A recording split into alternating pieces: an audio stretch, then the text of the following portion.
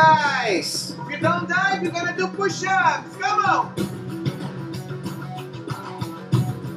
One person do the chin up, the other one swim there and back. Oh my god. I cannot do anymore. She's almost there. She's almost here. I can't swim though, I'm not kidding. When I think of the pool, I think about lounging, Kick Jenny. not treading water, and wearing ankle bracelets with like five pound weights on them. But everybody was just trying to um, stay afloat and not drown. Come on, guys, back. Two more, ladies. Go halfway and back. I had no idea what I was getting myself in for. You're racing your partner. If you lose, you're gonna give me 30 push-ups again. There was a time. Okay, so you both do 30. Come on. Hands above your head.